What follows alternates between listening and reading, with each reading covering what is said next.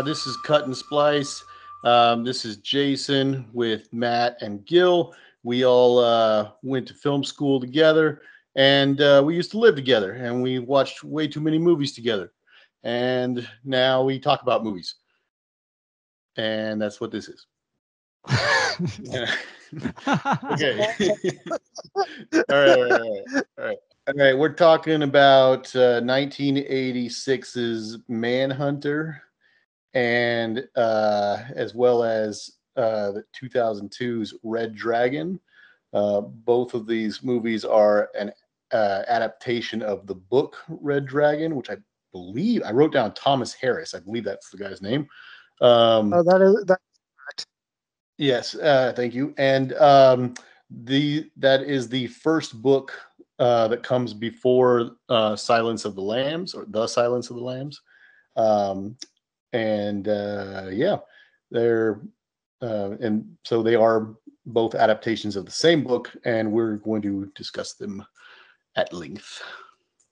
And then, of course, as always, we'll uh, uh, mostly do uh, reviewing and recommending, and then the second part we'll get into spoilers um, And comparing and contrasting and comparing and contrasting for sure. in this case. yes, uh, and we'll try to do a better job than the first time around. At least fo- focusing on comparing and not just getting stuck on uh, on flaws in each movie separately. but I guess they had that in common. Did either of you guys see Red Dragon in theaters? Yes. Because I did. I was quite excited to see it. I think I might have seen it. I think it was back then when I was watching more movies in theaters and and and it had decent reviews, especially for a Brett. Ratner movie. yeah. Yeah. Yeah, so uh pre Netflix and pre uh COVID and stuff. Or and kids. uh, bef- uh, I know Gil and I had the privilege of going to the one of the screenings, uh, the um, American Cinematheque uh, screenings at the Egyptian Theater to see Manhunter. I had previously seen it once before that at home. Gil, had you? Was that the first time you had ever seen it, or had you seen it before that? yeah, I think I, I think it was the first time I saw it wasn't that screening. Okay. Yeah, I, I think the first time that I saw Manhunter, it was actually on a VHS tape. Uh, uh, so, Hmm. fuck, I feel old. But yeah, I- I- it it it, it, it was a while ago, and uh, actually, I hadn't seen it in um, I think more than a decade before I rewatched it for this episode. So uh, it it was kind of fun revisiting it. Hmm. Um, I was just going to say, regardless of whatever else we talk about, before getting into any details at all, I just want to say that I find it very interesting. I did, this might have actually been one of the reasons why I brought it up as a, a thing I wanted to talk about with you guys, because I felt this way beforehand, and now after rewatching both of them, I definitely still feel the same way about it.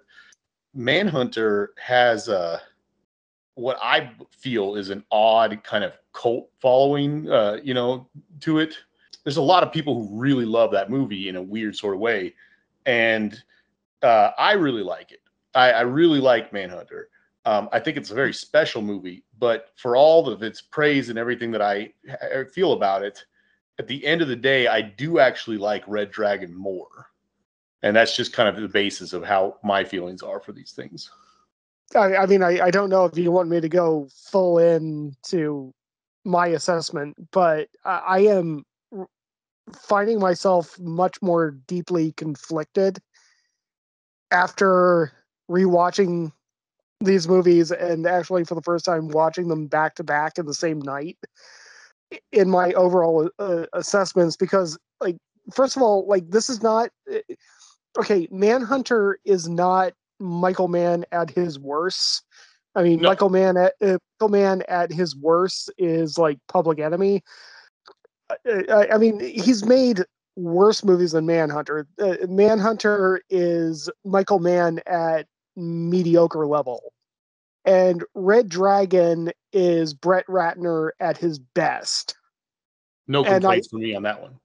And I honestly think that these movies are basically equals in in terms of my in, in terms of my assessment of them.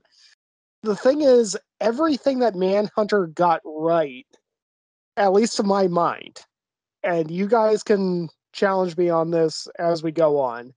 Everything that Manhunter got right, Red Dragon got wrong, and everything that Red Dragon got right, Manhunter got wrong. Interesting. And a large part of that is the casting to me and, and how they actually dealt with the performances.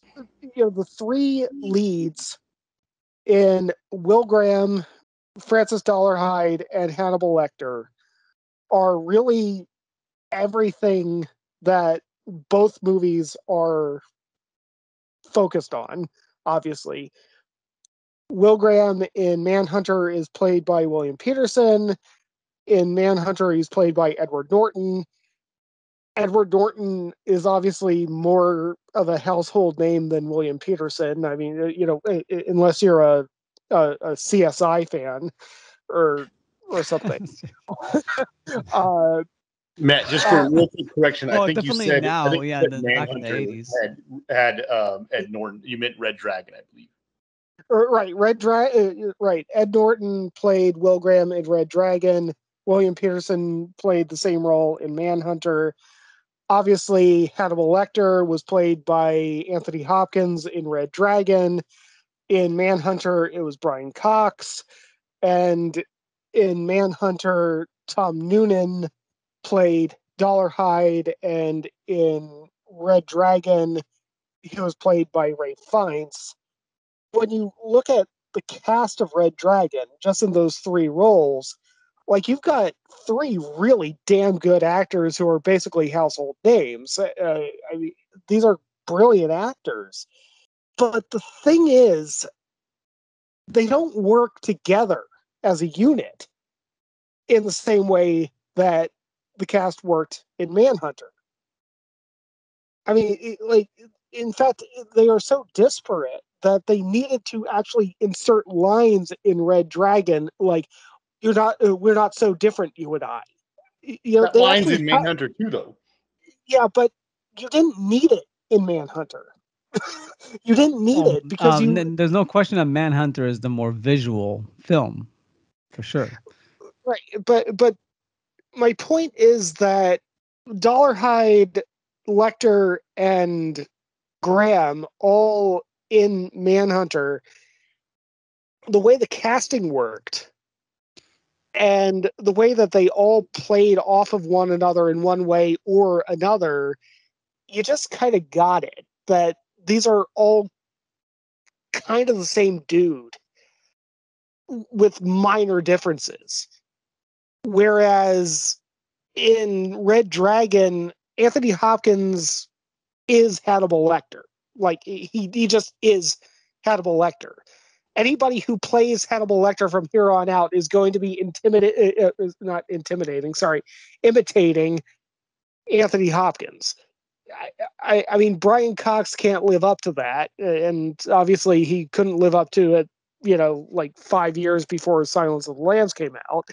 I, Still a good performance, though. Uh, I liked I- it. yeah, yeah, it, it, I- it's it's it's still a good performance. I, I'm not dissing Brian Cox at all.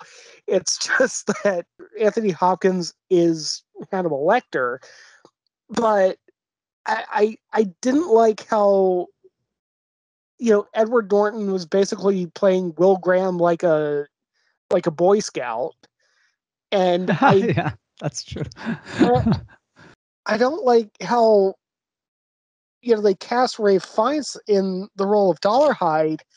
I, I mean, again, I love Ralph Fiennes. I think Ralph Fiennes is one of the better actors that we have in the world today. but you cast him in that role, and then you've got uh, uh, Emily Watson, right? Uh, Yes, uh, Emily Watson. uh, playing Reba, uh, and you've got her like describing how people are talking about him at work, and you you have to have her talking to Ray and like, well, they say that you've got a great body and that you're self conscious about your face, but you shouldn't be because you're super hot, and I- I- I- and that doesn't seem that doesn't seem like a recipe for a psychopathic killer, whereas Tom Noonan isn't Ralph Fiennes in terms of like being a good looking dude. He, he, he, Tom Noonan in Manhunter, I buy that guy as being somebody who is so disgusted at himself that he starts torturing people and murdering people. But anyway, I, I have talked. Yeah, I, I, think there's an explanation for that, but I think I should leave it for the spoiler part. All right. Um, because I think it goes into the different approaches as far as theme and storytelling that both movies went for. But I do agree that um, it's a very good assessment about them being exactly equal, almost like they get different things right and wrong that they equalize each other. It's uh, you can make a masterpiece if you combine the two. Basically, it could be like as yeah. good as Silence of the Lamb. yeah. Uh, and the funny thing on IMDb, they're both seven point two exactly. Ah. and uh, and I, I did uh, as far as rating goes. I guess we can get to that too. Uh, I rated them both seven, so um, without even knowing. So so it's um not without without knowing before this episode. Like I I rated Red Dragon back in the 2000s, and I rated Manhunter probably when we saw it at the the screening with uh with Maynard from Tool. Um, yeah. but uh, yeah, so it's uh, it all makes perfect sense. Um, it, it is interesting. The approaches are very different. I, I feel like um, Michael Mann here pulls a bit of a Spielberg in Duel. I just saw there was an article about the Duel uh, 50 years or something since the Spielberg's first movie, and it feels like he he just put everything into this movie. Like, he was mm-hmm. like, I'm gonna make this Citizen Kane. I'm gonna like just every scene's gonna be explosively visual and overly dramatic, and it's just so over the top. But it sort of worked for an '80s movie. It, it wouldn't work in the uh, in the sequel uh, in the in the remake uh, unless uh, Red Dragon uh, unless you really establish that style almost like a Sergio Leone type of stuff he was doing there a bit like so over the top but but yeah but uh, it was interesting and then Red Dragon is funny enough uh, William Petersen it's like CSI. it feels like a procedural. Like it's, it's, it's not very cinematic. It's just him going through houses and doing his investigation. Not a lot of visual storytelling going on there. So it's uh it's a very there's a few good scenes with Lecter that go a bit visually interesting, but very few.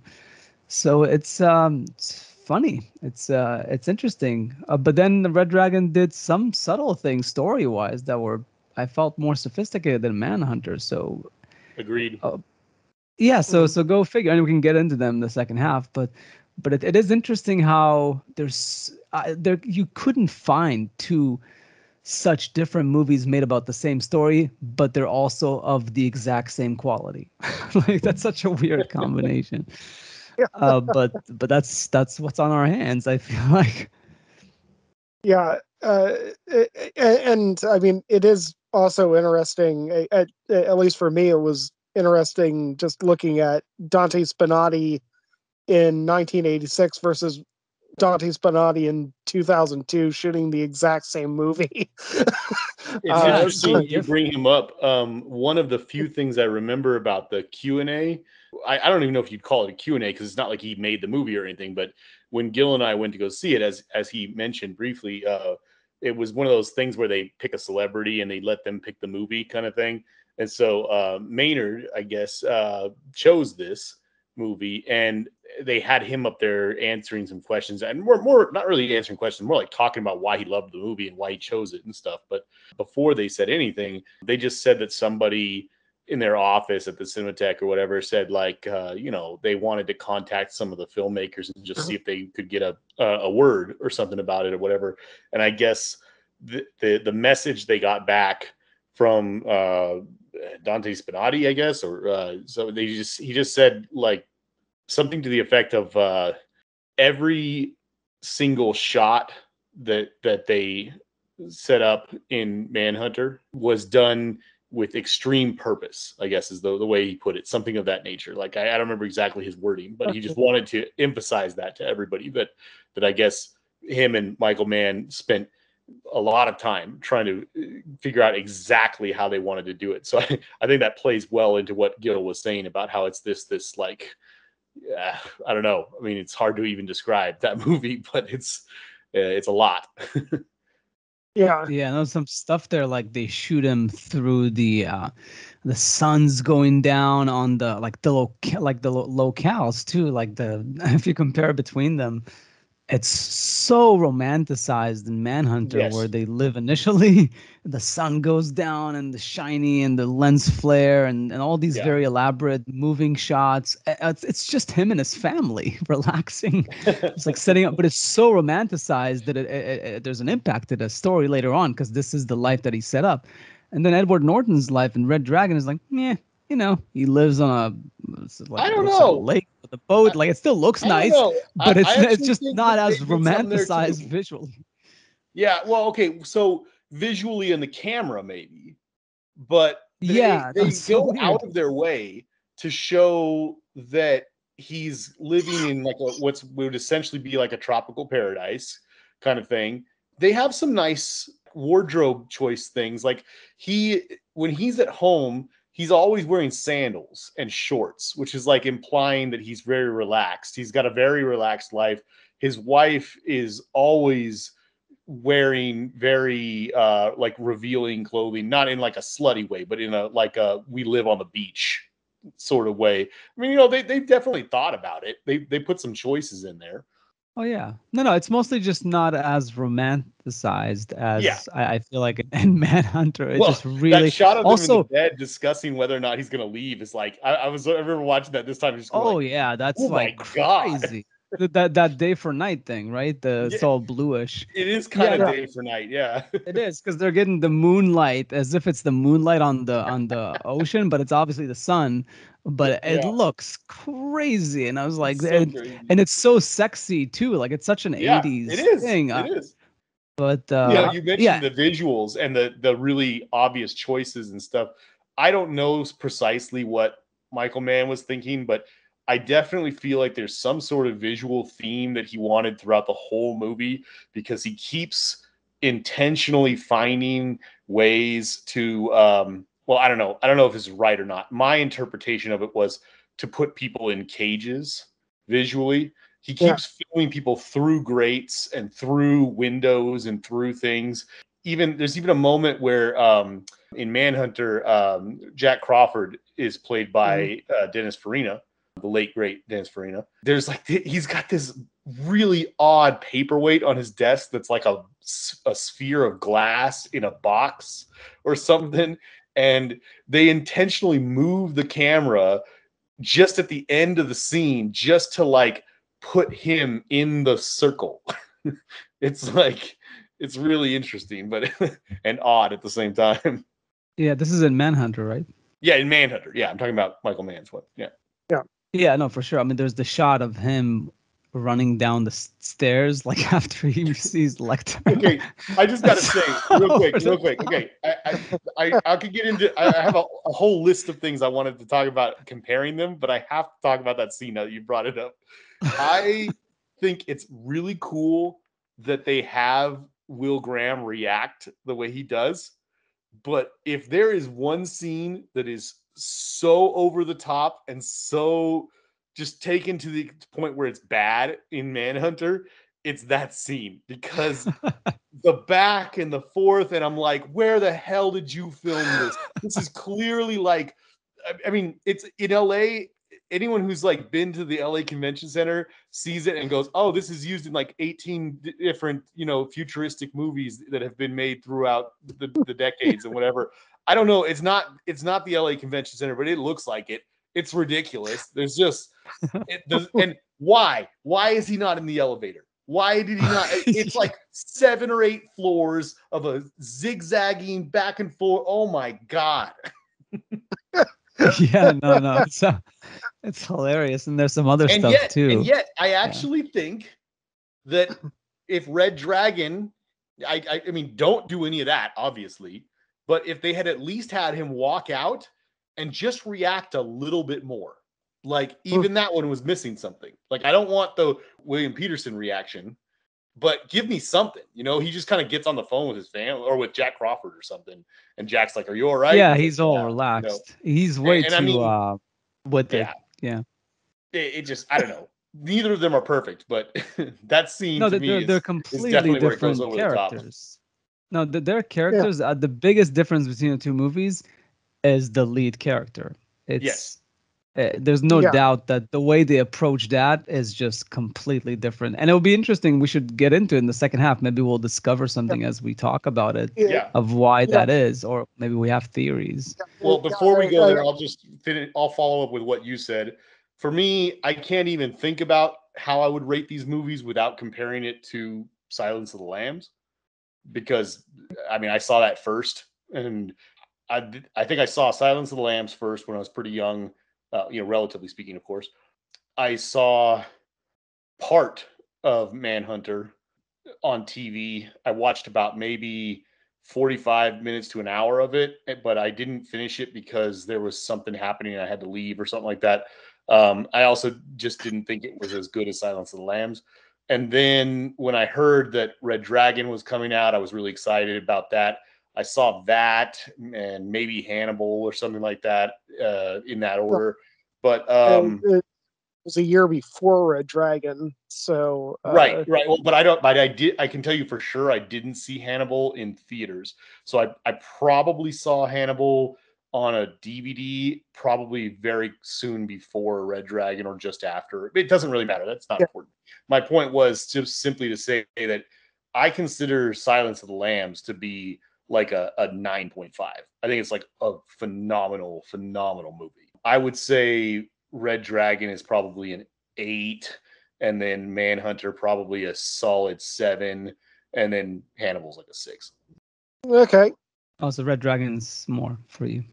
just a bit, yeah, or noticeably, but uh, not you know not a lot. Well, I I was about to uh, interject and say that we might be pushing on spoilers already, so we should probably go into the second half. Yeah. So uh, Let's do that. might might as well uh might as well do the ratings and uh, I, I i mean honestly it's funny like gil was talking about them uh, both manhunter and red dragon being 7.2s on imdb i think they're both 7.5s for me uh, i i think they cancel each other out. I think that the the strengths of manhunter are there and red dragon missed a lot of opportunities. And i think that there are strengths to red dragon that were there that manhunter missed. And they just kind of even out for me. I mean i, I think Yeah. they're both 7.5s for me. So uh Yeah, well- and uh, and interestingly, um, the people who did see them differently, the critics, uh, it seems like uh, they um, they rated um, six for um, like 60 Metascore, and then 75, like 7.5 for um, Manhunter. So Red Dragon is rated lower. But but yes, and and this could be based on what I saw. Some of the arguments they're making is that Manhunter is really borderline an art house movie about a Yeah. procedural. Uh, it, it really takes it to uh, a, a high level of uh, cinematic experience. And uh, it's similar, I guess, to what David Fincher maybe does in Zodiac, and where the visuals are so strong that they, regardless of what the actual specifics, uh, it elevates the movie. And maybe critics just react more to that highbrow type of stuff than than Red Dragon just being a solid Yeah. procedural with very good cast. That's about it. so what are your ratings Oh, I I, I threw it. I, I said seven and seven. I, I said it a bit earlier, but yeah, I Oh, jumped the gun yeah, I, I Yes. just just wanted to but uh, Yeah, yeah. um this is something where I, I i actually think this is relevant you know we should actually give michael mann a little bit more credit though because like he didn't have that built in like baseline. Like you know I- I, mean jonathan demme made the decision to cast anthony hopkins as hannibal lecter so brett ratner didn't have to make that decision. Brett ratner could basically and basically did remake Manhunter shot for shot in a lot of ways up until the end. And you know, by the way, we we we can talk about this too. Yes, Red Dragon, especially when it comes to the ending, is more faithful to the book than Manhunter was. But Brett Ratner didn't have to make any decisions.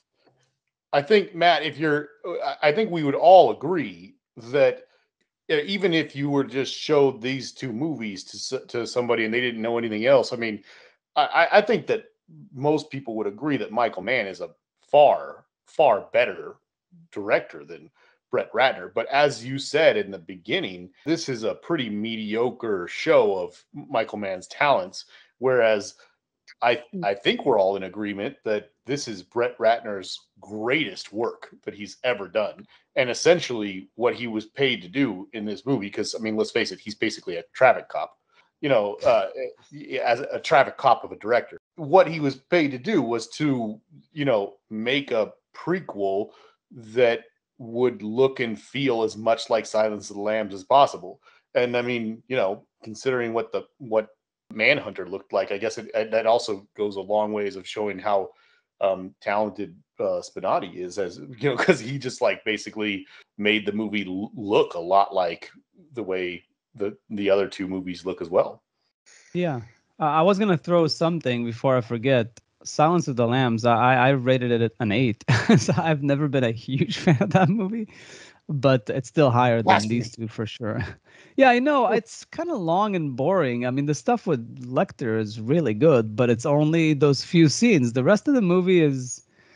I Jodie Foster is only good when she's with Lecter. I feel like other than that, she's not as captivating, and that. Uh, um, I- yeah, but but but that's uh, that's for a different episode. but but you know, just um, it is funny. I, I've always found weird how that movie it's on top. I, I know the performance is like an an all times best. Like it, it's it's like Brando and uh, you know and, and like Godfather or Apocalypse Now. Obviously, it's that type of caliber performance. But that's pretty much it. Uh, That's I- that. The I- movie itself is not spectacular. It's I, okay. I'm trying to I'm trying to to verify this, but I, I think that Anthony Hopkins was nominated for Best Actor, and he only had like 15 minutes of screen time. You talking about for for Silence of the Lambs? Yeah. It won, yeah, for Best Picture, uh, Best Actor for Anthony Hopkins, Best Actress for Jodie Foster, uh, Best Director for Jonathan Demme. It kind of swept, and Best Adapted Screenplay for Ted Tally, Yeah, but uh, it, who, by but, the I way, mean, wrote the screenplay for Red Dragon. Yeah, but Oh, but I mean That's the, the, but yeah, I mean the point being that you know Anthony Hopkins was barely on the screen Yes, in terms of, course. actual time. Uh, Well, yeah, but- I mean that's yeah. that's why I said Brando and Apocalypse Now because Brando is on the screen Ah. for five minutes and it's very memorable. yes, good comparison. yeah, uh, yeah, great comparison. yeah, no, it's it's interesting. Brett Ratner was a f- weird choice for it, uh, and Very Jason weird. kept saying whenever I kept uh, I saying to Jason that Red Dragon is his best movie, he's like, "Well, Rush Hour is pretty good." It is. Rush Hour is, is good, and and Money Talks is fun, but um, no, they're not bad. Yes, They definitely- are. and by the way, from Red uh, Dragon. I'll say one last thing about rating directors and stuff. I don't mind as much as most people X3. Like I I I, Oh, I actually oh, don't think oh. it's that bad of a movie. That's because you don't read comic books. Yeah, maybe, uh, but it's those kind of movies, and, and that's what Brett Ratner pulls off. Like you said, he's a traffic cop. Like he can just emulate at a low level, and it's just good enough for those specific movies. It kind of works. It's not spectacular, but it's comfort food. It, it just works. It's it's a movie experience. It's generic, you know. I, I don't know, but it's it's safe more than anything. But we, we should definitely get to the second. Unless is there anything else before we get to the spoilers? Uh, uh, uh, I I thought we were already. Uh, Yeah, uh, yeah, yeah. Keep going. oh, we should do always say the word spoilers multiple times to Yeah. scream it. Because Don't unless I'm gonna cut the episodes and. Okay, uh, okay, uh, okay. Spoilers are going to abound uh, at this point. One thing that is interesting is, you know, I, I kind of alluded to this earlier. that the ending of Red Dragon, uh, surprise, surprise, is actually more faithful to the actual Thomas Harris book, Red Dragon, than Manhunter was. Well, I, I, don't know where you're going, but just to throw it out there, not just the ending, other stuff too. But oh yeah, I, yeah, well, yeah, especially the end. You know, uh, yeah. In the book, Dolarhyde does fake his death in the home that he burns down, and then he shows up at Will Graham's house later on, and I, I mean, again, there there there are still differences. Like in the book, Dolarhyde stabs Will Graham in the face and permanently scars him before Will Graham's wife Molly comes in and shoots Dolarhyde to death. The ending of Red Dragon isn't as brutal as the ending of the book, but obviously Manhunter ends with Will Graham busting through Dolarhyde's window and killing Dolarhyde before he's able to uh, mutilate uh, uh, uh, shit. What's her face? Uh, Reba. Uh, right. Uh, and you know the movie ends in Dolarhyde's house in Manhunter, whereas Red Dragon actually follows the book all the way back to Will Graham's house and Molly killing Dolarhyde at the end. I, honestly, I'm a little conflicted about which was the better approach, but uh, I'll I'll throw that out to you guys. I think the biggest difference plays with the two movies plays into what you just said and also what you said before about how a lot of it's about the main character and how their approach to it. I think yeah. the biggest difference is I mean, look at the names of the movies, right? They changed the name for Manhunter to Manhunter from Red Dragon. Manhunter, yeah. Michael Mann's film, Manhunter, came out before Silence of the Lambs and yep. is a adaptation of the book where they alter the story in subtle and not so subtle ways and they focus and wrap the entire story around Will Graham. It's really all about him. Everything yeah. with Dolarhyde is less. You get less screen time, less scenes, less story, less everything. Everything with Lecter is less, less scenes, less story, less everything. It's all about Graham. And that's why it makes sense to at the end to end it the way they did. That's why the scenes with Lecter are shorter and faster paced. They're just kind of getting through them. They're not they're they don't have that kind of reverence for his character, which probably is only there because of how well Anthony Hopkins did in Silence of the Lambs. But yeah, just that's my take on it is that that's the difference. And that's one of the things uh, I won't go too deep into this because it's not really what we're talking about just yet, but that's one of the main things I like about Red Dragon more. In Red Dragon, they give you so much more of Dolarhyde falling in love with Reba I, I really like what they have in Manhunter, what's there, but it's really short. I mean, he on his very first time meeting her in that movie, he takes her to like the freaking zoo or something, like right away. Yeah. To the, to the tiger scene. It's like so truncated and so fast. It's kind of like what's wrong with every single mo- like movie adaptation that doesn't do a good job of adapting the book. They just kind of rush through the important stuff.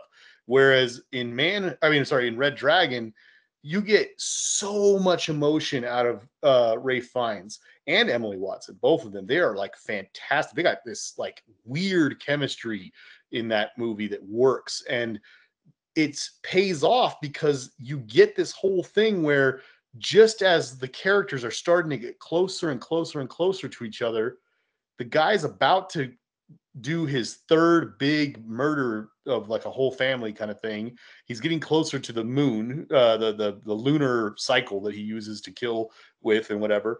And he suddenly is falling in love for the first time with a real woman. I mean, I'm assuming he's never had a girlfriend before with how freaky this dude is. And yeah, he's falling in love and he wants to stop. And it's crazy because Will, as the guy who should know him better than anybody else, said at the beginning that that's almost an impossibility. It'll never happen. And yet it did. It's like a miracle, basically.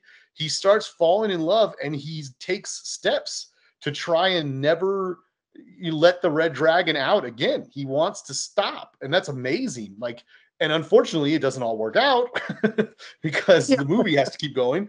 But that's a great part of the story that's completely absent in Manhunter. Like in Manhunter, the guy literally takes her to his house just to be another victim at the end. Like there's almost no inkling that he cares for her in the same ways that that they they do in the story that the or the way that the story should be. You know, they it just he takes her there and he kind of starts doing creepy stuff like turning the radio up really loud and kind of like letting her freak out for a bit before he's going to kill her and stuff. Like there's no indication that he's emotionally going through this evolution as a character and then the ending, as you said, is totally different. Yeah, no, uh, that, that's true. Yeah. Um, uh, I was gonna say about that ending. Um, it, it's also a bit. It's really over the top uh, in Manhunter.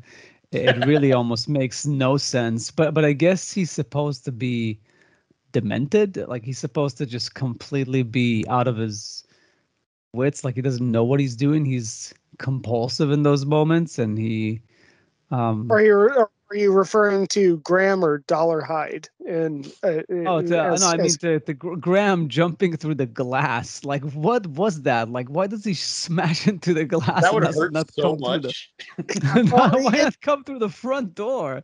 Like, I, I, just don't. yeah, it's, it's so over the top. It's the worst way to jump into where a serial killer is because you're you're at a disadvantage. You're gonna be hurt. Why not you shoot might... first? Also, why don't you just put a bullet just... through the glass? it's so over the top. Like it's so it almost kills the movie for me there. It's like this is so unnecessary. But I guess and that's yeah. a big thing we can work our way back from is that uh yes, in Manhunter, it's all about him. It's called Manhunter. He hunts men. And um it's got this whole psychology thing that Lecter, the way he found Lecter is that there's a mini Lecter in his head, and this is how he discovers people. Which, by the way, both movies don't actually illustrate it very in a sophisticated way. I've seen movies or read stories where you really like see that implemented well, or the person becomes the the villain in order to understand them and think like yeah. them. I, I don't feel like this is really um, does it. It does it a little bit with Red Dragon in the end when he uses his psychology yeah. to trick him to to get him to leave the kid. But generally, uh, it's both movies uh, intend to have this there where they they think like the villains, but but it doesn't really, and that's why Manhunter goes so far. But I, I think they just never earn it for it to go that crazy. That's it needs to be like just slightly less crazy like he still needed to go in. He needed to like put himself in danger, but not stupidly so. Yeah. This is one more thing I liked better in Red Dragon is that the the opening scene and the the the scrapbook scenes that they show really show that there's like this thing where Dolarhyde just loves and idolizes uh Lecter. And I felt like when I was watching Manhunter again, I was like, they they just suddenly jump to this scene where like oh by the way we, we uh, he he sends him this thing of toilet paper. We found it in his cell. We got to hurry up and do this thing. I was like wh- where was the indication in this movie at all that that um, tom noonan uh, dolarhyde actually even knew anything about lecter or cared about him other than the fact that he was like a celebrity serial killer type thing? You know like it just comes out of nowhere in manhunter. But anyway um, what I was trying to say is, uh, I guess the story is supposed to go that Dolarhyde is obsessed with with uh, Hannibal Lecter.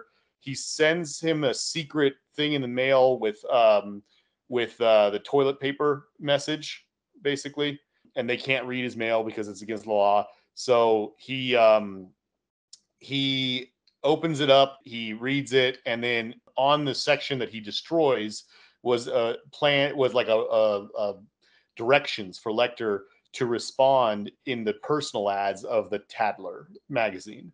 And so from that point on, after the toilet paper message, they were corresponding using the personal ads. and even even that, like the, the toilet paper. In Manhunter, they bring the specialist from a different place just because he's gonna do it so much better. There's so much attention to detail about the way, like Will Graham is such a, a fanatic in that movie. No, it's it, fingerprint them. They fingerprint them. No, bring the guy that we know that's the best fingerprinter in the world, and he's gonna find the fingerprints. I, I did like that they they actually in in Manhunter after he says that it kind of pays off because it it shows the fingerprint specialist and he's like I got it for you whatever. There's like that little brief scene. You feel like it all paid off, and uh, they still have that same thing in in Red Dragon, but they don't do it nearly the same way. He just kind of says, "Oh, have them check the corneas, have them check this, have them check that, and it, it's not consi- they don't they didn't bring in the specialist, I guess. Yes, no, and, and maybe that could lead into the discussion about just the the lead character, because I do think Edward Norton and they both did the whole slightly demented thing of talking yeah. while talking to themselves. Uh, and about and Edward Norton did it better than uh, William Petersen. I, I was just going to say that. I, you're talking about like when they walk through the crime scene. Yeah, and they're like, "Oh, you sick bastard! That's what you did. That's what you did." Right? you took the glove off, didn't you? uh, I I feel like if, if you were to like talk about, well, I don't know. There's plenty of movies we could talk about, but like I I don't know, like the Silence of the Lambs. What's the core thing in that movie? Like, what's what are you showing up for? It's the scenes between Jodie Foster and Anthony Hopkins doing their little. I mean, it's it's like you could that's that's become like a thing when you talk about other movies. You say, oh, it's like a Hannibal Lecter experience. You know, like like in in the le- the last James Bond movie. You know, when they got the bad guy in, in prison. You know, it's like it's become a thing. You know, it's like that's that's what you're there to see. With this movie, I think you're there to see like the the core thing that you're there to see is uh, Will Graham walking through these these CSI scenes and and talking to himself and basically putting himself in the air quotes in the mind of the serial killer. And I, I, think that that Ed Norton does it a little bit better, even though I, I love Will Petersen's um, performance. I, I really do. I just I, something about the the his I don't know I don't know what it is. I can't put my finger on it. I just thought Ed Norton did it a little better. He he he just contained it more pretty much like he didn't go too far with it.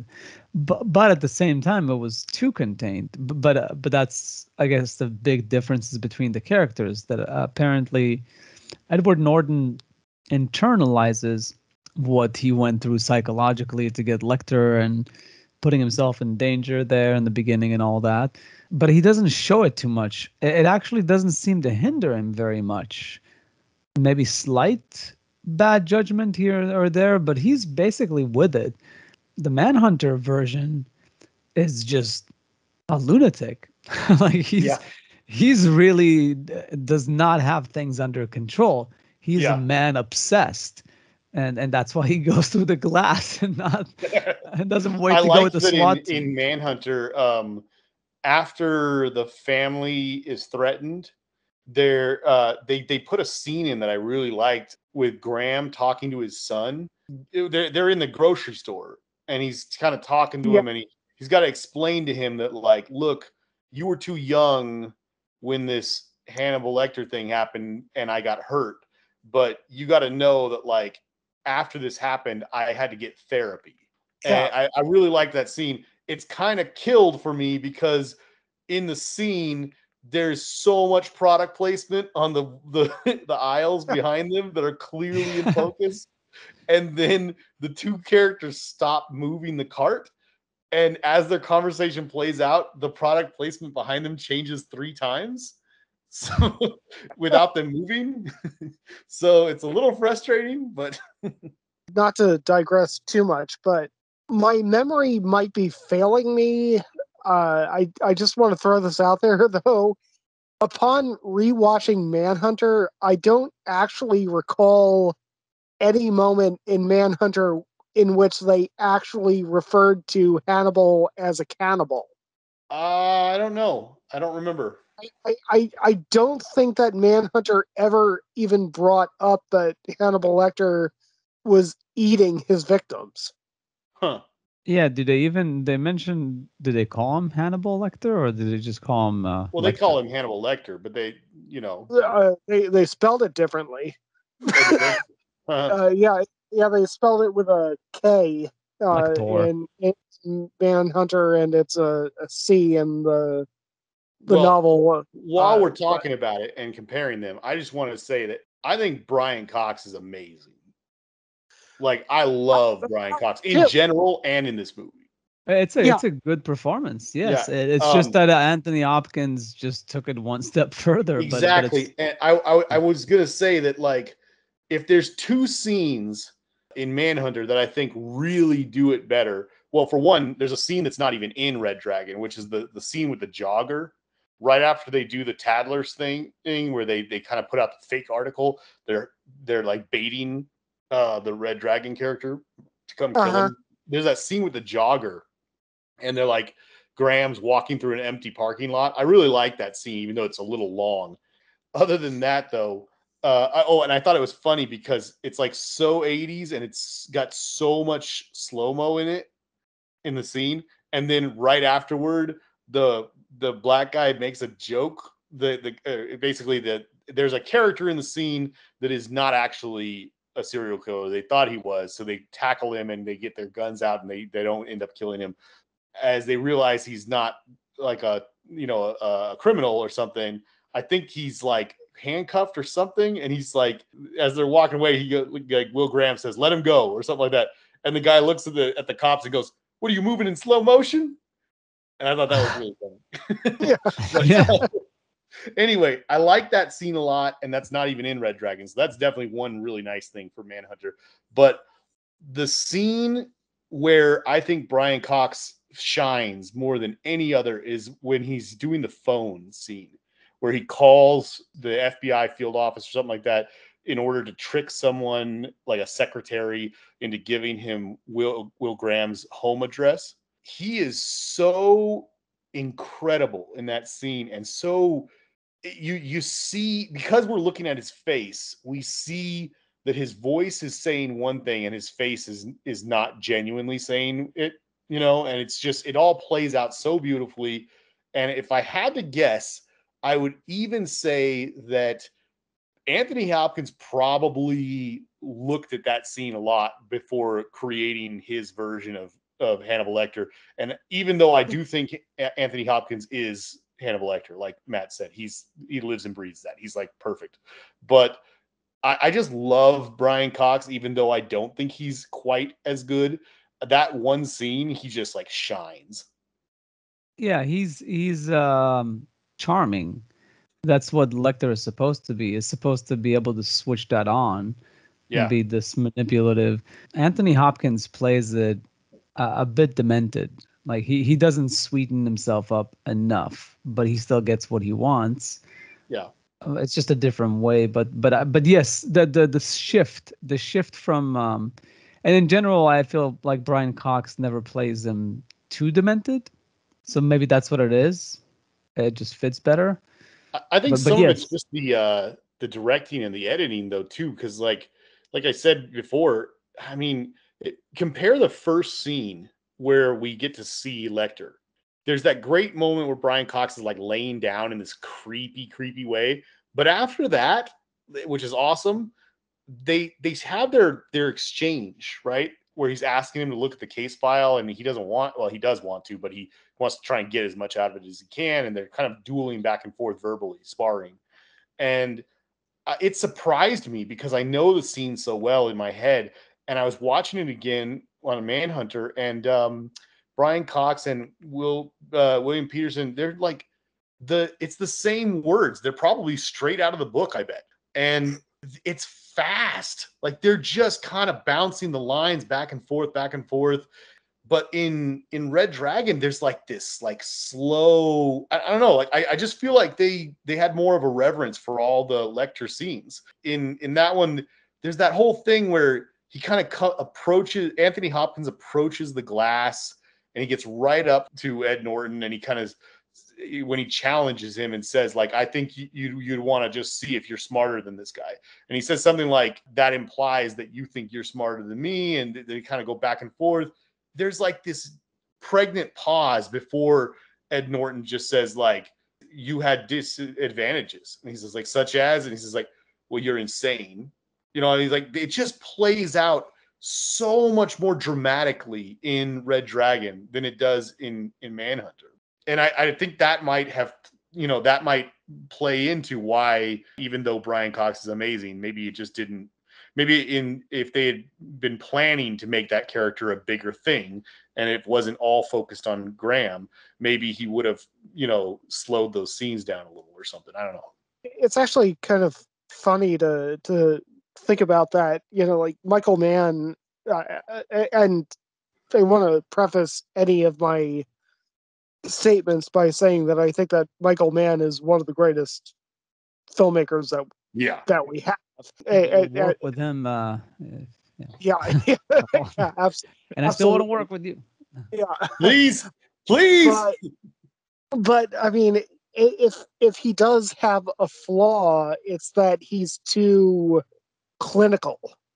Like, it, I, I mean, he is incredibly clinical, methodical, fact based, information driven. I, I mean, like, you know, there are stories about uh, when he was making uh, Ali. It, you know, apparently he was actually switching out extras in the crowd for the boxing scenes to match photographs of some of the Muhammad Ali photographs of those fights. Like he was wow. actually he was actually swapping out extras to look like the photographs. Like this guy is clinical. This guy is uh is methodical to uh, sometimes to a fault. I mean, there there are certain movies like Heat, which is a masterpiece, and then there are movies like Manhunter, where maybe his methodical nature crept into the filmmaking and scenes like the one that you're talking about where you get a guy like Brett Ratner who probably doesn't think anything through you know just lets uh, just lets the actors play and you get something brilliant out out of your actors and you get something uh emotionally poignant out of that that yeah. might be something Michael Mann, you know, just getting into Michael Mann's brain. He's just methodical. He's just clinical. He is just clean room, get the information to people. That that that's just my my impression. I could be wrong. So uh yeah. I think we didn't we go for a a talk with him like yes, last for, uh, we, we, all saw all three of us went and saw um, Last of the Mohicans at the Egyptian. Yeah. No, he's definitely when you listen to him speak, he's you just say like, "Oh wow, this guy's on a different level."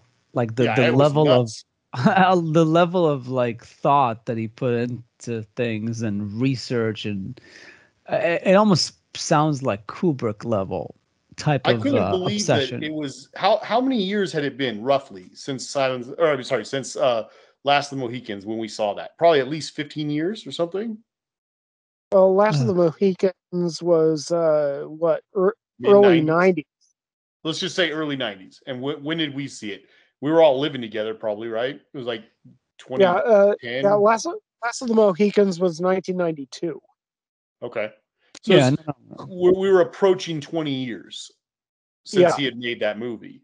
They asked him some question, and I just remembered he spoke for like 30 minutes about the history of the Native Americans in the New York area at the time that doesn't actually get talked about in schools that much. And I was like, what? And and also I was very interested in what he was saying, but I was just like, you learned all of this to make this movie and it's still in your head? Like it's just crazy. no, for sure. And then meanwhile, uh, Brett Ratner is a traffic. but but somehow that movie really works. Um, but it really does. You know what it is, but I think it's a good screenplay. It, it's it is a bit by the numbers, and maybe the it's book a really is good screenplay. Yeah. but it's it's really well written the way the characters are set up and the fact that they focus on the villain more in, in a way and and it's a lot of it is way more psychological than visual personality of of the lead we mentioned is a bit more toned down but it's all internal. And then definitely uh, ray fiennes i feel like his journey yeah he's a good looking guy. That's that's not his issue. His issue is way deeper than what it shows in manhunter. Like it's uh, psychological abuse when he was a kid and all this stuff. So where regardless of your looks you still feel ugly whereas in manhunter they just went for the easiest well he he kind of looks like he's not very attractive and he's awkward uh, basically like an incel type of thing. Where and and um and Ray Ray Fiennes, it's the complete opposite, and that's why Edward Norton says in the end that he he almost feels bad for him right before he shows up to try to kill his family. He's a lot more relatable, even though you still relate in Manhunter to Yeah, you do. yeah, you do relate, and you kind of get him and why he feels abandoned, especially once she, in Manhunter, she does cheat on him more so. She's kind of slutty more, like she'll she kisses the other guy, whereas uh, Yeah. I, I don't think the same thing happens in um, Not really. in Red Dragon. It's mostly like she he's telling her goodbye before going on vacation, but but it's not as if they have a romance. No. Um, I you relate to both, but yeah, it's, it's different approaches. It's it's interesting the differences and and why those decisions are made. But I guess we've solved it. We said Manhunter. It's all about the lead. We're in the Yeah. in Red Dragon, it's it's more about at least equal, if not more, about the villains in a way. I, I just for me the the you know you guys were saying you guys feel they're about the same and I was the only one saying I thought Red Dragon was a little better. I mean for me like a, the cast is a really big part of it. Like I said before, I think Ed Norton eh, uh, does a little bit better job in those clutch scenes that I think are really really big for this movie. It, it's hard to even say this because I think I think Manhunter has a stellar cast you know, uh, Will Will Petersen is probably an underrated actor. I would say. I love Brian Cox, as I've already said. Tom Noonan's outstanding in this movie. He's just so creepy. Joan Allen's always great. Dennis Farina, he's great too. Uh, But if if I have to really like say, I mean, I think Ed Norton was better. I think Anthony Hopkins manages to somehow be better. I think Ray Fiennes is better. I think Emily Watson is better and even little roles like that that nasty Freddy Lounds guy, um, you know, that Philip Seymour Hoffman. That scene where he's like glued to the chair, I feel that so much more. I feel like the other guy, I, I wrote his name down somewhere. I don't know what his what his name is. Uh, Stephen Lang. He's You, forgot Stephen Lang. okay. sorry, but he's playing a, a very by the numbers schwarmy like character. He's he's just he's kind of like got that that you know he's that kind of uh guy. He's gonna get the story no matter what. He's like a paparazzi type guy or whatever, and it's fine. You know, it's fine. But it's like when you see the look on Philip Seymour Hoffman's face when when Ray Fiennes like drops that robe and he just like reveals his naked tattooed body. Like, I mean, he looks terrified. Like he he he just I, I feel bad for him, even though he's like scum of the earth. Like he's just he's outstanding. And um the guy who plays Dr. Chilton in Manhunter is also very competent and he's very good in the couple of scenes that he's in. But that um that Anthony Heald, however you say his name, I mean, it probably helps that he was so well done in Silence of the Lambs, and then he just basically has to play the same character in this one. But um, I mean, he's he's really good as Dr. Chilton. Yeah, he's uh sort of like the demented, um, overseeing the demented. Yeah, Yeah, exactly. like and, and he's- he's he's so um cheap, you know. he's, he's I would you know you'd hate to know that person. Yeah, I will say Harvey Keitel was kind of dry for me. I almost Yeah. prefer Dennis Farina's. Um, even though just the, the the funny thing is just his face and his history Yes. elevates the role. So but, it's so crazy you said that, Gil, because I he's the I love Harvey Keitel. I really love him, but he I don't know. I don't like him that much. Well, Dennis Farina is better, and if I'm gonna, you know, this is the one character actually in that we have three different actors for. Actually, is is uh, Crawford, Jack Crawford. I think Scott Glenn is the best out of the three of them in Oh, terms of easily. Yeah. just just in terms of Jack Crawford. But uh, and then I would I would actually put Farina second. I think he was a little better than Harvey Keitel. that's in Yeah. Silence of the Lambs. Yeah, uh, Scott Glenn plays Jack Crawford in Silence of the Lambs. He has a whole bunch of scenes with Jodie Foster. Oh, I see. Yeah. Yeah. I, I am going out on a limb, but uh, because I do love Ralph Fiennes, but I, I do think that Tom Noonan was a better Francis Dolarhyde. What? I, I yeah, I, I I'm saying it and I'm sticking by it. it, it, it, it was just it was a good performance and i i um no i, I love him especially uh a, a big fan of his from uh last action hero um Wasn't he also in? He's in in Heat, isn't he? Uh, yeah, he's the guy in the wheelchair who uh, gives. Uh, Yes. yeah, yeah, who gives. Didn't he have the uh, line about the uh, early internet? And he's like, "It's all out there, floating around." Yeah, yeah, yeah. have- He- oh, he- yeah. I know. He's got like a mustache or something, doesn't he? not in Why, Heat. why does he look so different in? I guess because he doesn't have the hair lip or something. I don't know. also uh robocop 2 it's a good performance Oh, Like, uh, great Cain. performance in Ro- Cain.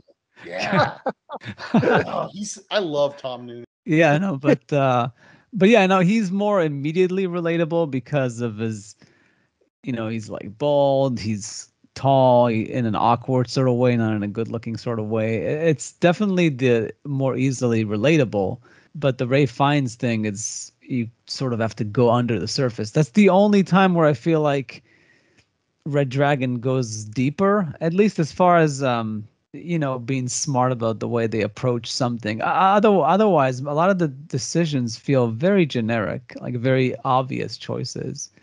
Also i feel like the relationship it really helps me that they set up the relationship with the wife. For example like mary louise parker who's always good um, she's kind of a nothing character. Like she yeah she shoots him in the end. He teaches her but They do I- better in Manhunter, huh? Yeah, they they establish her as she and she doesn't say much in Manhunter, but she's sexy. She's like a sexual object, but in in a sort of like strong sort of way. Like I got your back. I I don't like you going back and doing this, but you know I can be I with the love that kid. scene because I, I didn't even remember it until rewatching it. But I love that he's asking her permission, and she she says to him, "You've already made up your mind." Yeah, Yeah, no, that relationship. That's the one thing that's definitely handled better in Manhunter. Yes, There's a sure. little bit of that in uh, Red Dragon, but Yeah, but it's not as strong and it's too bad because it could have easily been uh, that could have been just a mild direction issue but yeah also i a time think thing too. Maybe they just decided to skip it because they were putting so much time into the other stuff. yeah and i think the father son relationship also was stronger in manhunter but It that's was. It was Yeah. like that scene I talked about with the product placement. yeah no and then also Yeah. on the beach they do the whole thing they build the the the oh, net for the thing which comes back in the end you know when they we go back that. Wait, what? What comes back in the end? Uh, like they, they build a net for i don't know if it's the turtles or something that come out of the water or something and they're gonna Oh, oh, okay. Yeah, and then they come back to it in the end. It's like when they come back to the same house. A- anyways, it's all it's interesting the way they approach it, and obviously, whatever the movie's trying to do, I don't, I don't think Red Dragon made a mistake by focusing more on other things and not this. Uh, uh, visually, too, the one thing is just the scenes with Lecter being so white and bright and Manhunter of all things. Everything is so dramatic in Manhunter, but then the lighting in those scenes is like a hospital. But then you go to um, Red Dragon and they do the whole Silence of the Lambs where it's extreme. It's like a dungeon. Yeah. And there's the only white is like his clothing and everything else is like dark around him. Yeah, so it's uh, very different approaches visually strange actually but but maybe that's the idea is like it's supposed to be like all white sort of it's like a Japanese thing, like it's, it's symbolizing death or something. I mean, it, it's it's kind of getting into Michael Mann's whole clinical streak to you know. yeah, I like thought he, wa- he that, wanted um, Lecter to be clean or something like Yeah. that. Yeah. we were talking all about all these guys about you know which one was was we preferred in one movie over another and so on and so forth and and I was we talked about Jack Crawford being played by three different people in three different movies. So if you look at all four of these movies, like the two that are that we're talking about now, which are re, you know a remake of each other or whatever you want to call it, and then the other two um, adaptations of the other books that came after, Silence of the Lambs and Hannibal. It's interesting that you've got characters like or actors like uh, Anthony Heald playing Dr. Chilton in two of them. You've got uh, Anthony Hopkins playing him. Uh, I almost said himself. Oh, that's sad. Uh, playing Hannibal in uh, in three of them. Uh, but it's I found it very interesting. As soon as I saw this in Manhunter, I almost jumped out of my seat to grab my computer and double check that I wasn't going crazy. But the nurse orderly character, Barney, the big tall black guy, he Yeah. is the same actor in Red Dragon and he, as he is in Silence of the Lambs, and he plays. He has one scene in Hannibal at the very beginning when he sells the Hannibal Lecter mask to Gary Oldman. He's playing the same character in all three movies. But what's Yeah, that's- interesting is he's also one of the police like SWAT team lieutenants in Manhunter. Yeah, so uh, he's the only Frank- char- the only actor who's in all four movies. yeah, Frankie Faison. yes, Frankie Faison. Yeah, yeah, that is kind of interesting. Man, and he's in his seventies now. Yeah. Well, Um, these movies are 20 something years old. Yeah. Yeah. Oh, No, good on definitely, him. yeah, it's a good example of, uh, for sure, of uh, like watching these of just the different approaches. Like one is extremely visual, one is almost feels like a like a very good TV show, borderline not a movie. Like the performances is what elevates it really, but not the visuals. Yeah, that's that's that's one thing I would say. One last thing is like, there's some really elaborate oneers and shots that Michael Mann does in in Manhunter that just I think there's one that's in Red Dragon. I think it might be in the house, the The- Dolarhyde.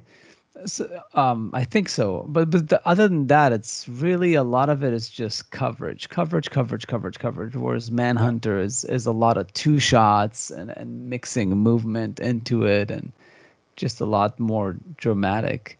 So it's uh it it goes to show th- these are very good examples. Like somebody would watch Red Dragon, is like, man, it's a good movie, and it's got some good visuals. But then you see Manhunter's like, oh wow, like, I guess Red Dragon wasn't as cinematic as I thought, uh, and maybe Man- Manhunter was too cinematic. But but it gives you an idea.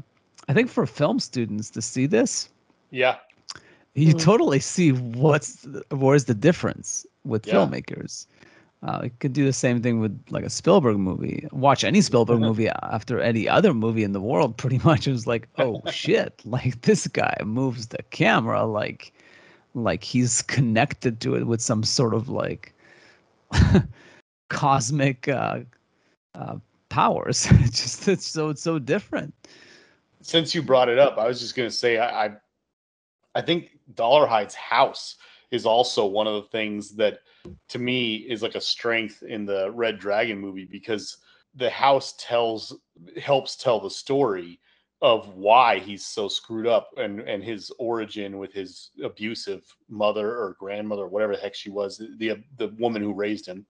It's, it's only because the only person he brought to his house was blind that he gets away with not being outed as a psychopath or whatever for living in this creepy crazy old house. Whereas eh, in, in manhunter it's just like super 80s and, and i mean you know Yeah, you could it's like walk through that house and you'd be like well this just looks like the house of a guy who's like a kind of a a little obsessive about certain things here and there but i mean you wouldn't think he was crazy Yeah, it's a good looking house. Yeah. Yeah, no, and he lives like on the lake, and she gets out when like the morning after, and like the sun is rising, and he walks out. It's like a perfect shot of the sunrise. Yeah. like, what the hell is this? Like, are they gonna like make out now? I Um, actually really love that you're talking about in Manhunter, right? in Manhunter, like it's I so romantic when he gets out. because he runs up to her, like you're saying, and he does something with his posture. Like he's so tall compared to her, and she's a tall woman, but at least I believe she is. But like he walks up to her, he's so tall, and he kind of does this thing where he's standing up straight, but then his head and shoulders kind of hunch down a little bit, and I'm like, oh man, he's messed up. They're like all in silhouette. Yeah. Well, one last thing I would say, which maybe brings it back to um to uh, Silence of the Lambs. Who knows? Maybe someday we'll award it with an episode. But Yeah. um, but um, I I know Silence of the Lambs has always been cast as this great horror movie, right?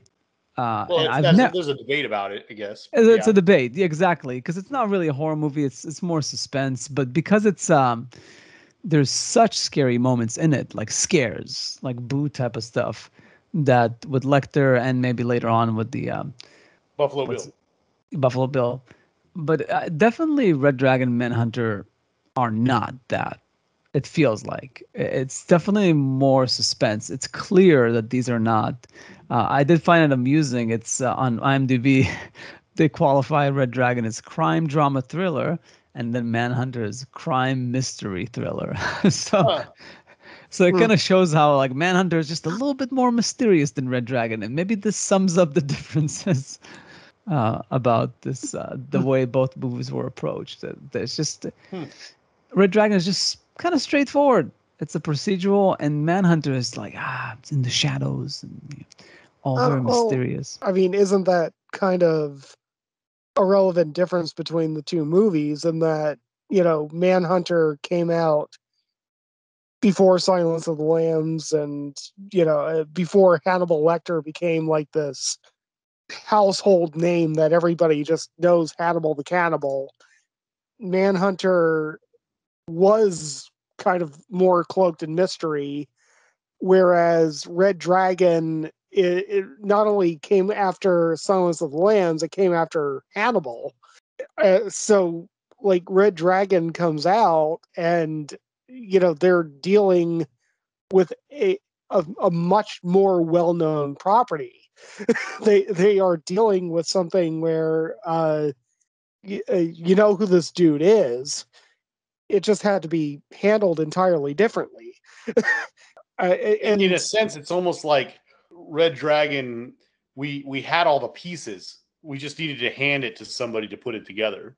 yeah, Yeah, I mean, it could still be approached within that. Um, Of course, of uh, course. a- as yeah. more mysterious as far as the the mystery of who this guy is and and the whole thing with uh, with Lecter. Like for example, like they don't show much about the relationship with Lecter. They don't show the scene in the beginning in Red Dragon and Manhunter where Lecter injures him. But it's it, it is just interesting. Yeah, it's a it's a different um, approach and I, actually, that's kind of uh, that's kind of interesting. Uh, that that first scene where Hannibal does stab Will Graham at the beginning of Red Dragon, would that have been stronger in Manhunter? Just that's the given thing. context? It, it wouldn't work. That's the, it wouldn't work. The Yeah, only reason why because it works in Manhunter's Red all Dragon. about Graham. Ye- Yes, but also in Red Dragon, this is actually a good point. It only works in Red Dragon because uh, it's a prequel. Uh, otherwise, like if you see Lecter for the first time in those scenes, that's not. I mean, Lecter has to show up the way he showed up in Silence of the Lambs, like in a cage, mysterious, like scary. Like I, you don't want to see him as some sort of person that looks normal and is, you know, going to a concert and all that. Eh, That only works in Manhunter. There would be very little context. It wouldn't make sense. It would basically he would be, yeah, one of his advisors that ends up being the one who tries to kill him, but there's no context there. Like the power of that I scene. I would not- argue that you're you're absolutely right. That um, we we can kind of love the scene because it's a prequel that came after two previous movies and so on and so forth. But I mean, I bet you if you showed Red Dragon to somebody who had never seen any other one before and didn't really know too much about the story or anything like that, they would just be surprised probably when he shows up with the knife and and whatever and it would probably just be like a like a twist or something. It probably wouldn't be like this makes no sense at all. Yes, and also you wouldn't get that he kidnapped the uh, and killed the uh, the bad musician and then fed him to the uh, well except that they explain it in the in the the the um later in the on following um little uh newspaper clippings on clip. Yes, yes, but but again, it'll, it'll be a bit of a shock. yeah Yeah, it's just it would be a bit too much. It's like, where's that movie? you know. yeah It's like, well, exactly it is strange that if if he's so smart, you know, uh, Will Graham, it, it doesn't make a whole lot of sense that he has no clue. Right. That he doesn't It does suspect come him at all. circle in a nice way, though. At the end, when he can comfort Emily Watson and tell her like, when she's like, "I should have known," and he's like, "You know what? Sometimes you can't." You know, he's like, "I've been there. Trust me." Yeah, I guess he does. So that that works out. That's uh, touche there. yeah uh, but but- but still like there there's that whole thing about this is dialogue that i would attribute not to brett ratner because i don't think he's ever written a paragraph in his life Wow. but, but you know like that i would attribute to a brett ratner movie uh, you know like the whole I gotta hear what you're saying. I, I don't know what you're meaning yet.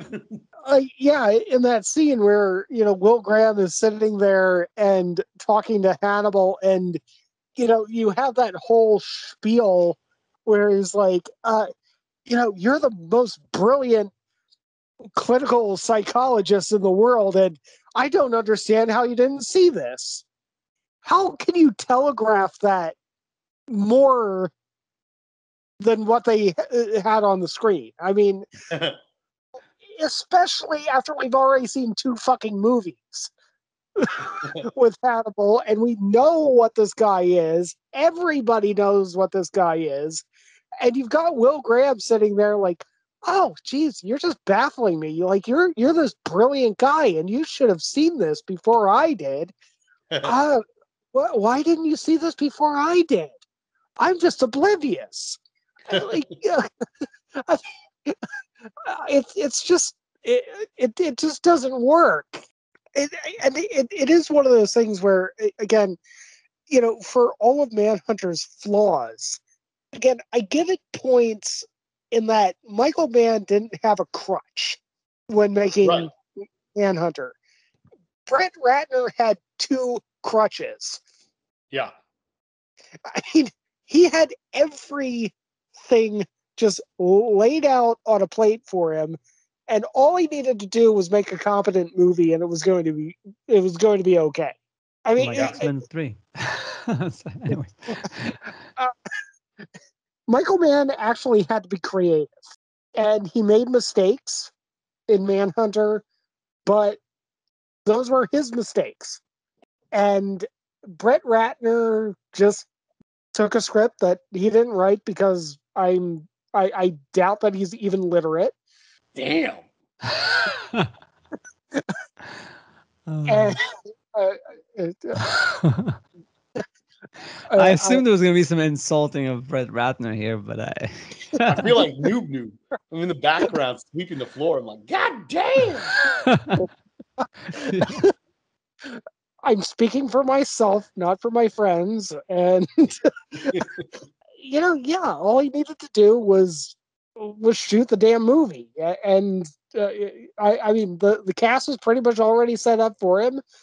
The writing was already done for him, and he just needed to point the camera in a direction and get somebody to put it in focus. So- No, I mean it, is tough to make a movie for sure. So he he did just, but yes, uh, the fact that it's all lined up for him, it's pretty much what he's good for, and he's said it himself. Like he, he actually one of the famous quotes that he has is that I'm the type of movie that Hollywood brings in when it's they already have a surefire hit and they just need someone to. I didn't know he ever said that. That's funny. Yeah, there was some something where um I don't know somebody was acting out his quotes. It was like a parody of him, Oh, and wow. um and and yeah, it's like these are actual quotes from Brett Ratner. yeah, but in any case, um, Well, I was I was just gonna say, since we're saying so much about Brett Ratner here, I wanted to say two things real quickly, just in defense of of um, Red Dragon, eh, real quickly. Just that um, one thing is that if you can, if we can just for a brief moment think back to 2002, right? This is right at the beginning of the terrible explosion uh, in Hollywood of maybe I should say instead of explosion, saturation of prequels. Because in 99, Star Wars Episode 1 made more money than any movie ever should have made. And it did it before it even sold a ticket. You know, it- it's just ridiculous. And everyone suddenly, suddenly prequel was like a household name or household word, I should say. Sorry, phrase. Mhm. You know, I mean, before that, how many prequels did you ever see before episode one? I mean, there's like uh Temple of Doom and what? Be two or three, five others ever in existence. And then suddenly that movie made so much money, Hollywood just said, "Oh my gosh, if there was a movie that that anybody even remotely liked, we got to know what happened before it." And suddenly there's like prequels to everything, stuff that we absolutely did not need at all. And if you look at how many pretty bad ones there are out there, like uh Red Dragon's pretty good. Yeah. And then the only Mhm. other thing I was just going to say is that just I literally just saw this right now and I can't believe I had forgotten all about this, but it's crazy to me to think that uh, I don't know if you guys mentioned where you thought it compared, but I said at the beginning, and I still stand by this, that Red Dragon is a better movie than Hannibal. And it's Ridley Scott, you know, and it's got Yeah. Gary Oldman in it. And I didn't remember this until right now, but it was written by David Mamet. Yeah. And Um, it- it's still not as good. well, that makes my argument that um, Ridley Scott is overrated. but I love Ridley Scott. yeah. It, yeah, Steve Zaillian. Yeah, it's like good writers. What, what else Yeah. has Ridley Steve Scott. Done? I, I don't know his name. What? I'm just clicking on him now. What else has he done? I don't. I don't Oh, he uh he wrote a, few Spielberg films like Schindler's List. Oh my and, uh, god! Yeah, Schindler's List, Searching for Bobby yeah, Fischer. so Bobby Fischer. The- yeah, no, no, the- he's a he's a good writer. He's a, the the American girl with the dragon tattoo. yeah, no, American Gangster. Yeah, I, I was actually kind of thinking about this in terms of Red Dragon and Manhunter, but I think it's actually more relevant when it comes to Hannibal. Like just the comparison of like different sports. I mean, a point guard in basketball is just going to be a good point guard in basketball. It doesn't matter if he gets traded from one team to another. I mean, uh, you know, you're just a good point guard. In football, you know, we talk about scheme fits, right? You know, like uh, it, it, uh, you could be a great quarterback and a great wide receiver and all that stuff, but if you don't really fit into the system, uh, you're not going to really optimize things. Like you're you're not going to be performing all that well. To me, Hannibal is a perfect example of getting a bunch of superstars on your team, but they don't fit the scheme. Yeah. I think it's a, a movie that has great moments and overall Yeah. doesn't work, which is probably exactly similar to what you're saying. Yeah, I, I oh, uh, you're good at running zone, but we're running man all the time, so it doesn't really work. You know, I mean, Steven Zaillian and David Mamet are two of the greatest writers ever, and I can see how they don't mesh as like a team writing a uh, writing a screenplay. Yeah. I mean, Ridley Scott. I, I, I mean, I, I like Ridley Scott more than Gil does, uh, but you know, Many do, yeah. yeah uh but uh, yeah, I- I mean, I can see how this is just like you know you have like an all-star team when it comes to talent, but nobody really kind of fits into the roles correctly. Yeah, and I guess that brings it back to Manhunter and uh, Red Dragon that both have really good casts that, for the most part, work really well. Yeah, in, in different ways. Very different ways. Yeah.